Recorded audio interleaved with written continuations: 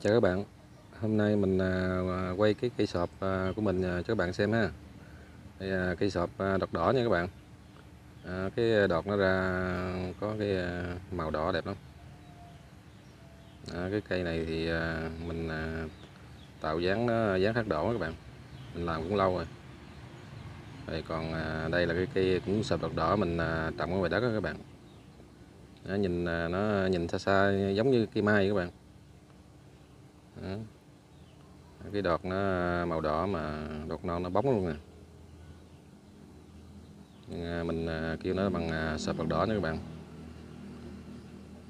Cái loại này à, nó cũng có trái nữa các bạn.